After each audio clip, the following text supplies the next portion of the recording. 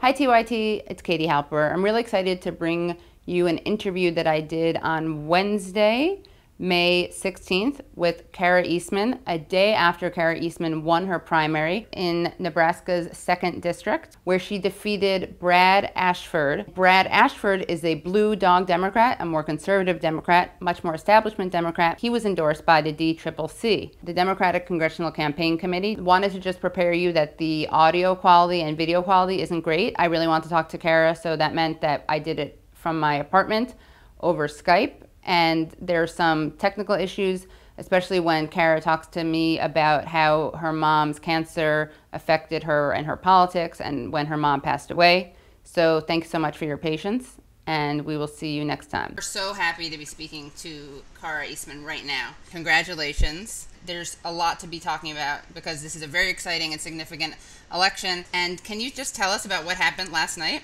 Well, last night uh, we won our primary.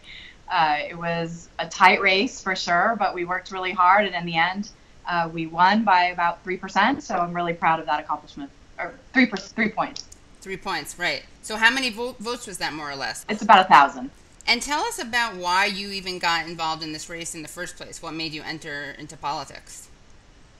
Well, I, I am an elected official. I was elected to our board of governors of our community college three years ago. But that doesn't necessarily mean that I was thinking about Congress. I decided to run because of my mom. Uh, in 2016, my mother had been diagnosed with cancer for the fifth time. I'm an only child. I was raised by a single mom.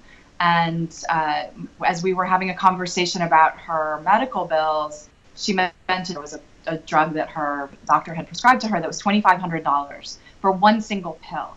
And I had to stop and say, "What are you? What, are you crazy? Like, who could afford to pay that for a pill? How can a pill be that expensive?"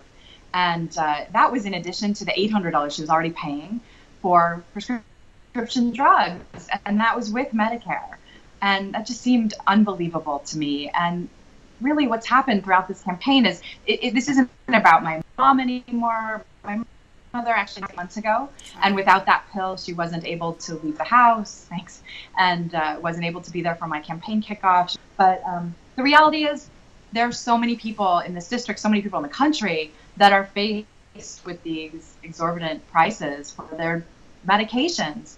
And uh, I decided that perhaps somebody like me, a social worker, somebody who had run a nonprofit, my whole career I've been working in social service and public service, that maybe somebody like me could get in. I've, I've been working on policy. I've raised $13 million to invest in safe, healthy housing for our kids in our community in Omaha.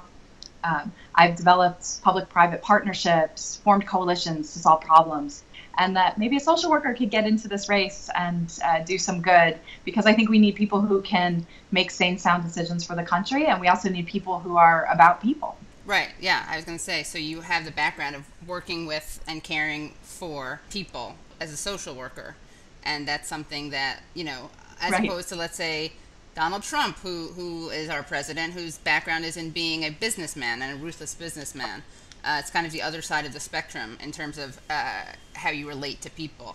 So it's a great. I think it's a it's a really good qualification. And I I heard um, your interview with Cenk Uygur on the Young Turks, and you mentioned also that your mother was an artist, and that so one of the things she didn't wasn't able to do was see your daughter's art show. Yeah, my daughter is 16, and she's an artist like my mom.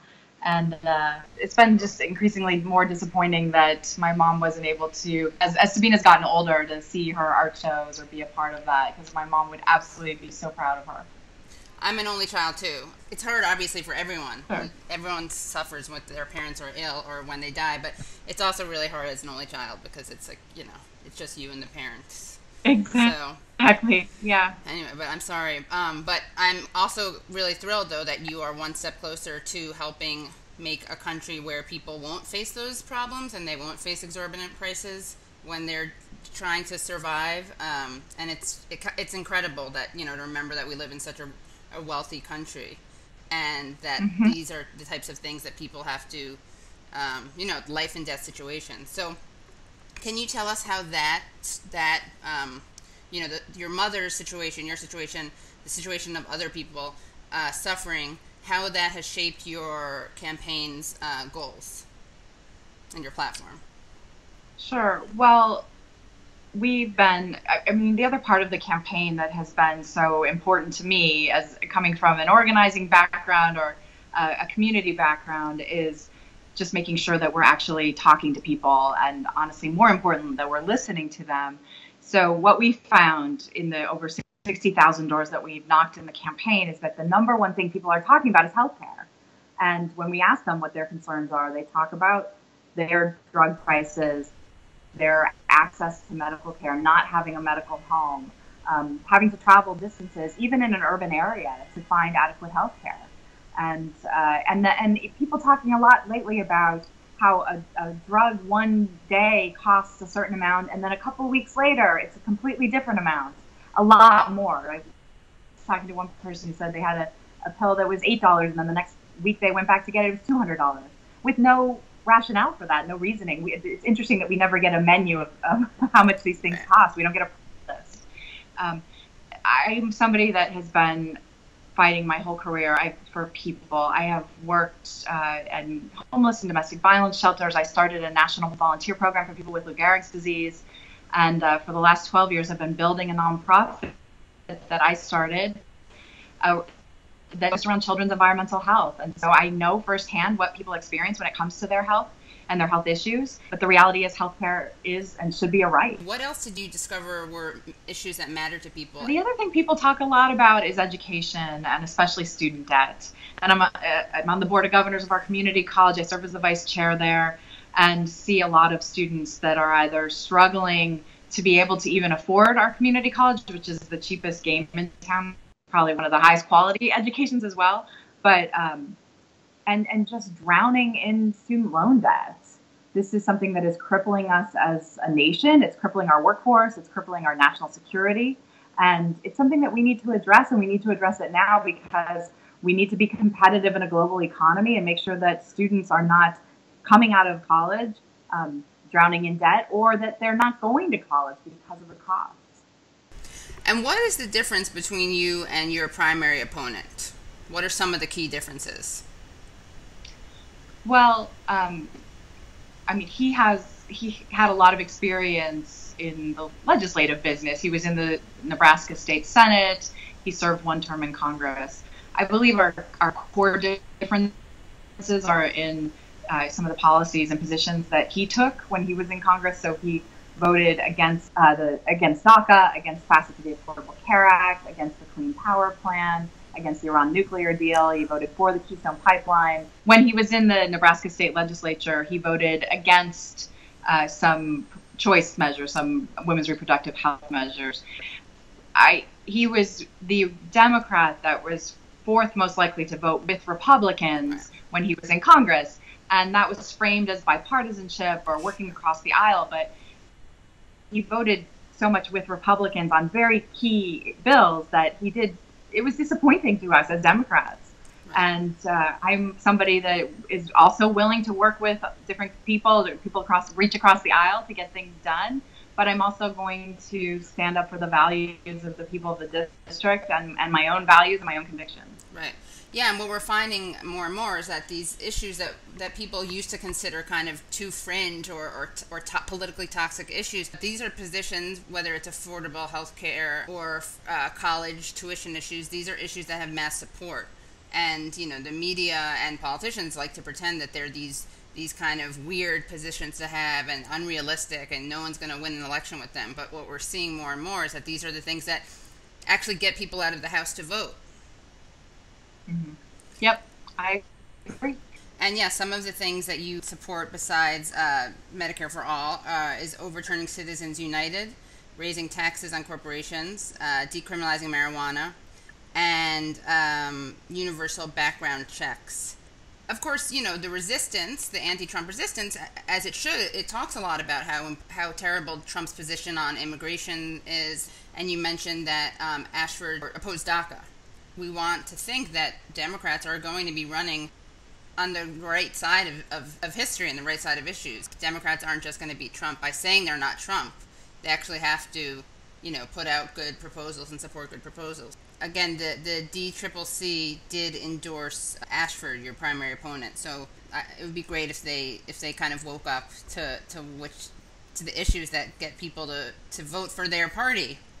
Mm-hmm. Um, and hopefully actually support you in this because you are the Democratic candidate uh, candidate right now, and in theory, you know, the Democrats should be fighting for their party. So, um, yeah. I have confidence that that will happen. okay, good, good. Just making sure you're on notice, D Triple C. Um, some more established feminist organizations, pro-choice organizations, individuals who were uh, justifiably concerned about wanted to make sure that uh, Heath Mello, who was running for mayor of Omaha, they wanted to make sure he was going to be pro-choice and really respect and fight for reproductive rights, and he he said he would. Uh, he was running against uh, an anti-choice um, mayor of Omaha. Mm-hmm. He lost to that mayor.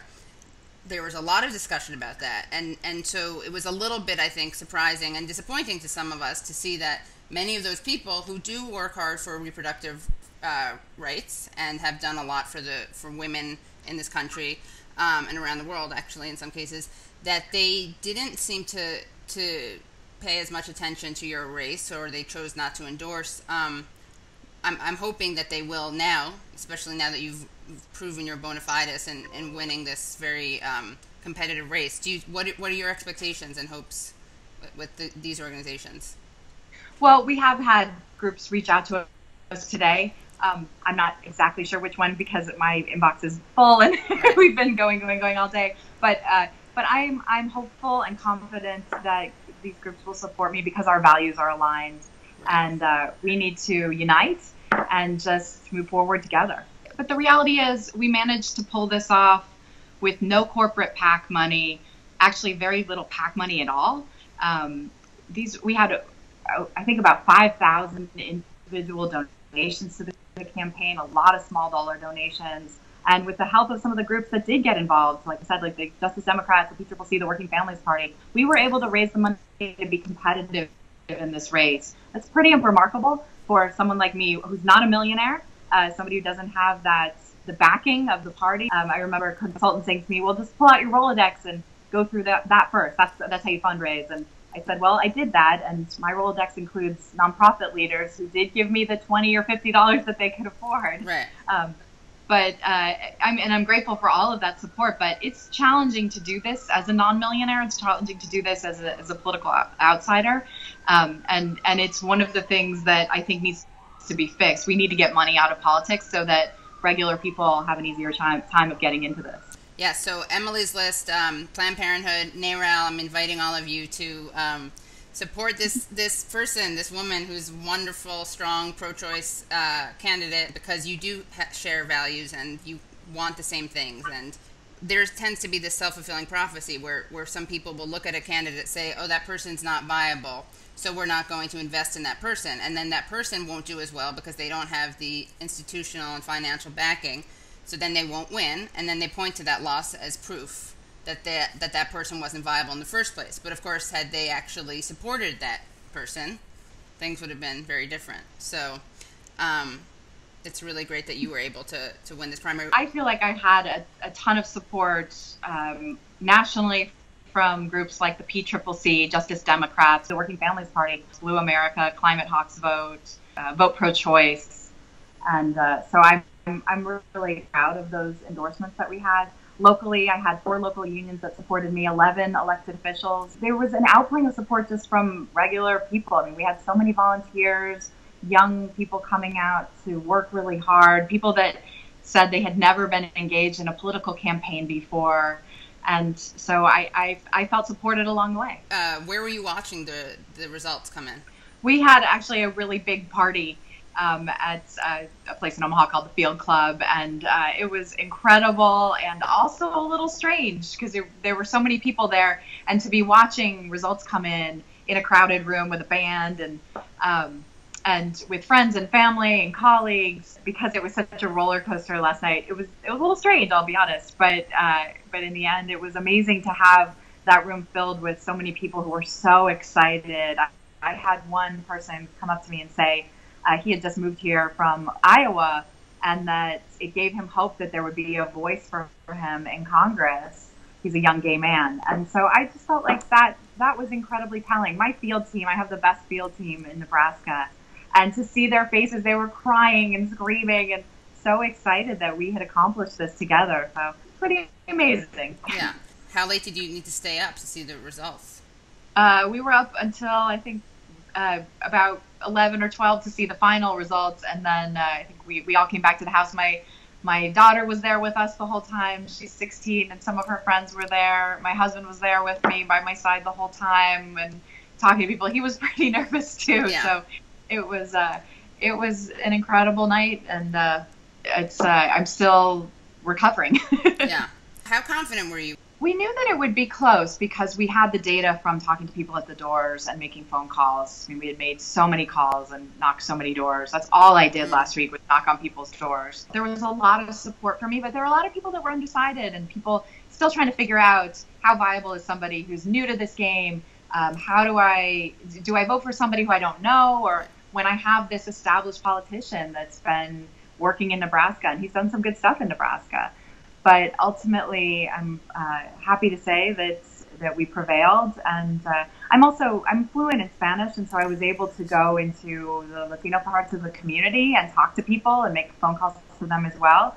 And uh, so I'm hoping that perhaps that was one of the things that made a made a uh, difference in this campaign. Obviously, being able to speak to people in their native language helps quite a bit. And what do you have to say to people who who are inevitably will say, "Oh, but uh, you know, Nebraska is such a, a red state. Uh, how you have no chance of winning. Uh, all the all the kind of usual suspect responses that you get. What's your what's your response to those? Well, we have been a blue dot in this district. We gave an electoral college vote to Obama in 2008. So this is a very winnable district. Uh, the narrative here is is usually we need to run a conservative Democrat to win, and then they don't win. And so what we're finding is that an, a, a Democrat who's standing up for the values of the people in the district can win. And the thing that we saw last night that was pretty interesting was that turnout was up. It was doubled from 2014. Um, so that's really important. We have not really been able to ignite the base before. Um, and I think this campaign has done that and will continue to do that. And wh- why do you think it was able to do that? Um, one, because we knocked on people's doors and talked to them but also the, the message of the campaign, the strong positive message about fighting for healthcare, education, the environment. Um, we live in an environmental disaster with the Superfund site here, and that's something I've been working to resolve for a long time. So I know firsthand what an environmental contamination looks like for a community. Therefore, I'm against the Keystone Pipeline. The majority of people I talk to are as well. Uh, these are things, and, and, and in particular the economy, where you've got on, on uh, right now what we hear is like, oh, the economy is booming, uh, employment, uh, unemployment is down, people's um, people got all these bonuses, right? When we talk to people at the doors, they're saying they're struggling, that people are working two or three jobs to be able to feed their families, and that they're not feeling the effects of this, and uh, and that they know that this tax bill actually benefits the very wealthy and large corporations more than it does them.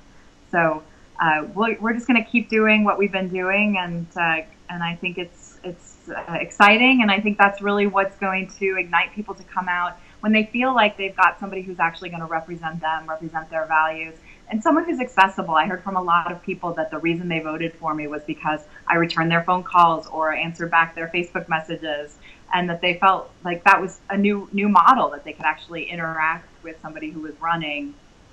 And even though there were a lot of difficult conversations, um, it's uh, it's it's a challenge, I think, because we don't always agree on everything, but we have to be able to have those difficult conversations and come to some kind of uh, at least uh, common ground, find common ground where we can, and work together to solve problems. Can you sh- shed some light on um, like what the takeaways for other progressives um, who are running for you know running for Congress or running in other races? What are the takeaways for them? Well, look, I mean, look, I I won one primary, and so I don't want to be that person that's out there saying, "Well, now I'm going to show everybody else how to do this." It's like moms when they have one kid and then they think they're experts, um, which maybe they are on some right. level. But as, uh, as, an only child, I like to think they stopped at perfection after one kid. exactly, exactly. Um, I I think that being able to uh, answer questions directly, have difficult conversations with people, um, I don't, I can't say what answers have worked and what haven't, but like I've just been really honest with people about what I know and what I don't know, where I can draw from expertise that I have. I'm really lucky to be pretty tied into the nonprofit community in Omaha, where we have a ton of expertise to draw from, and uh, and I've had people on the campaign helping me along the way, experts in the farm bill, ex- experts in agriculture, experts in the military, experts in veteran affairs um, so that where there are areas of expertise that maybe I haven't directly worked, I know where to go to find that. And uh, and so I would just say I think being authentic is really important. It's uh, we promised our daughter that when we launched the campaign that I would not put winning ahead of integrity, and and I feel like we've we have we've done that. We haven't done anything that we weren't proud of, and that's how we like we will continue the campaign that way. I believe civility is important in anything, and in particular in politics. And can you tell us about moving forward what your what the race will be like? What the major differences between you and your um, opponent in the general will be? Well, so he is he's a Republican. He uh, he's in his first term in Congress, and uh, his voting record has been 97.3 percent with the president. So uh, he voted to take away health care. He voted for the border wall that we don't need and can't afford and isn't the correct solution to any problems around immigration. Um, he also voted for the tax bill proudly. And uh, what I'm hearing from people in the district, and this is, we've been knocking doors of Democrats, but there are a lot of Republicans inside those homes. And people are telling, and there are a lot of independents in the district as well. People are telling us they're disappointed in those votes. They feel like they don't represent their values it's interesting to look at today's headlines. You have um, who is Kara Eastman, first time female candidate, stuns Democratic establishment, and Nebraska's primaries. That was at Newsweek. For the Huffington Post, pro abortion rights progressive wins Nebraska Democratic House primary. CNBC has Nebraska primary results. GOP cheers Dem Kara Eastman win over Ashford. So people are already trying to frame this as a something that Republicans are, are happy about. Um, the suggestion being that you are much more uh, beatable than your primary opponent. And what? How do you respond to that? I mean, look, we have so much energy and we have ignited the space so much. People are really excited right now. And I think we have an opportunity. We have an opportunity to go out and talk to independents who tend to lean a little to the left anyway. We have an opportunity to talk to moderate Republican women um, women are performing really well around the country. But I think most importantly, we need leadership that is engaged and uh, listening to the voters and being willing to, to engage in these conversations and representing the values of the people of this district. So if we manage to put together this scrappy insurgent campaign and beat somebody that was the establishment uh, Democrat in the race, I can just imagine what we're going to accomplish in the general election. Right, and of course, I'm sure the same people who are making this argument were the same people who thought you would never have a chance to win. So I'm not sure, right. I'm not sure how, what, how good their prediction uh, record is. Another headline: This one was CNN. Democrats' anti-Trump resistance scores a big primary win in Nebraska. Oh, Vox had Kara Eastman, Medicare for All Progressive wins Nebraska House primary. Uh, yeah, this is, I think, a kind of a hopefully a watershed moment, uh, and it's part of I think this trend that we're seeing of insurgent candidates who are not part of the establishment. They're not necessarily the usual suspects or the likely candidates. Um, how, how much were you inspired by Bernie Sanders? Well, I'm, I'm a fan of Senator Sanders. I think a lot of the proposals that he have, has out there makes sense. Um, and, and, but I, I'm inspired by a lot of, of politicians um, nationally and locally we have some great people here on the ground in Omaha that are doing work for the community. I have the honor of working with uh, State Senator Tony Vargas, who is the first Latino elected to the Nebraska State Legislature. I'm uh, have the honor of working with the president of the City Council, Ben Gray, and these are people who endorsed me throughout this race. So um, I think I think Nebraska could teach a lot of other places how to do some stuff, and we're often looked at as a flyover state or uh, people ask, where is Omaha? Is that in Oklahoma. Right. um, but uh, Omaha's a pretty interesting place. This district is is amazing, and uh, it's it's 96% urban. So I think that's something that people don't necessarily think of when they think of Nebraska. But um, but we could be major players in a lot of things. We could be champions in wind and solar energy. Uh, we at the community college here, Metropolitan Community College, where I'm on the board, is an incredible institution, one of the top 10 community colleges in the country. We're doing stuff every day that I'm just completely amazed by. So I think there are models here that I've been involved with or that we have that we could bring to other places in the country. And are there any organizations in particular you're hoping to um, see endorse you? I mean, I don't know if has our I don't know if our revolution did. Um, I don't know if Bernie Sanders has has come out. Uh, you strike me as a very Sanders Sandersian Sandersian uh, uh, candidate. Um, well, it's funny to say that he did call me this morning. oh my gosh! Wow, how was it? Nice yeah. chat. It was very nice. Yeah, he called to congratulate me and said he heard that I upset the Democratic establishment, which I told wow. him I think he paved the way for somebody yeah. like me to be able to do. Were you able to talk to him, or did he leave a message, or? I did talk to him. It was brief, but uh, that's great. He's busy, yeah. but uh, yeah, it was a, it was an amazing call. My daughter was very excited about that call as well. She actually she actually answered the phone oh, when nice. they called. It was him, so that was pretty cool. I Was, so was she excited when she told you he had called? Yeah, was she like very exactly. That's great. Yeah. Okay, so so Bernie Sanders called you, and then what about? Are you hoping that Emily's List or Planned Parenthood, NARAL, any any particular Our Revolution, anyone else you're you're hoping to hear from? If you had a wish list of labor and unions are very important to me. I come from a union family, and so I'm hoping for more labor support um, because I think that my values are aligned with theirs quite a bit, especially when it comes to livable wages and safe and healthy working environments.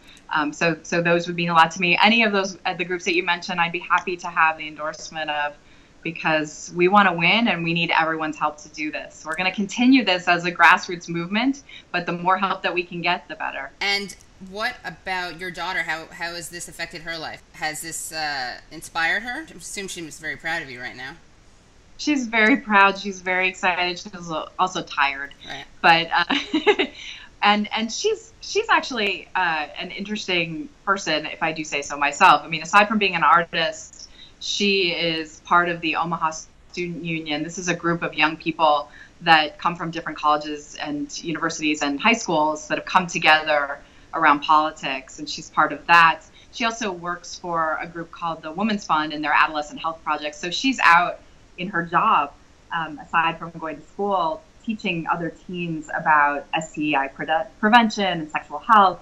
Um, so she's a pretty remarkable young woman, and really she's inspiring me. She she actually organized the March for Our Lives in Omaha. Wow, and uh, that's great. Was one of the speakers there. Yeah. So uh, so honestly, I think I'm more inspired by her. yeah, I'm sure it's it's it's mutual. Yeah. Um, how are you going to finish the rest of the week? How much sleep do you have to catch up on? Sleep would be good. I that's a magical thing I keep hearing about. So I'm excited to sleep. Um, we've got some uh, meetings to have, and uh, we need to get together as a campaign team. And honestly, we need to celebrate because yeah. this is an incredible moment. It is a watershed moment, and uh, I want to make sure that uh, I'm honoring the people who work so hard on my my team. Um, and uh, yeah, we're just going to keep talking to people and and and uh, figure out how we win this because I think we have the blueprint already and we have the people in place. And uh, I've had so many people reach out to me today saying they want to get involved. And uh, so it's exciting and I can't wait to see what's next. Great. The non blue dog blueprint. You can uh, use that as, on your website. Um, and again, thank you so much, Kara Eastman, for talking to us at the Young Turks. And you can find out more about Kara on Twitter, Kara for Congress on Twitter. EastmanForCongress.com is the website. Uh, also, ca- uh, check out her great interviews on the Young Turks, and also there's some great reporting on, on it that already happened. Um, and I, I just that yeah. was the best video that I saw last night was Cenk's video when we won. Yeah. it was pretty amazing. Yeah, we've shared that quite a bit today. Uh, that was fun. Yeah, it was great. Thank you so much for joining us, and I uh, hope to speak to you soon. And wish and we wish you the best of luck.